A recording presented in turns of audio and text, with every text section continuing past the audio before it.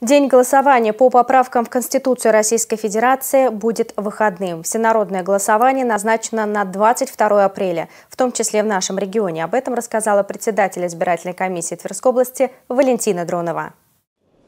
Организацией проведения всенародного голосования за пакет изменений в Конституцию России отвечает Центральная избирательная комиссия. В субъектах страны эти обязанности возложены на региональные избиркомы, территориальные участковые избирательные комиссии на территории Тверской области 46 территориальных избирательных комиссий с общей численностью 471 член комиссии с правом решающего голоса, 1155 постоянных участковых избирательных комиссий с общей численностью 9560 7 человек. Для обеспечения реализации прав тех граждан, которые находятся в местах временного пребывания, к коим относятся больницы, следственные изоляторы. Будет создано 26 участковых избирательных комиссий.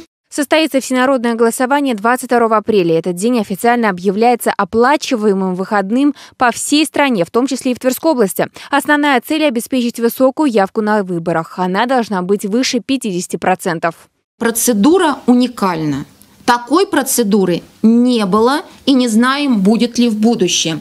Поэтому здесь нельзя применять ни терминологию избирательная кампания, ни терминологию э, референдум, да, как бы это совершенно иное. Вся процедура, вся нормативная база для этого голосования, она прописывается с нуля. Обозначены основные принципы и основные подходы, как выборы президента. Достоверность, легитимность, тайна голосования, а, добросовестность э, волеизъявления.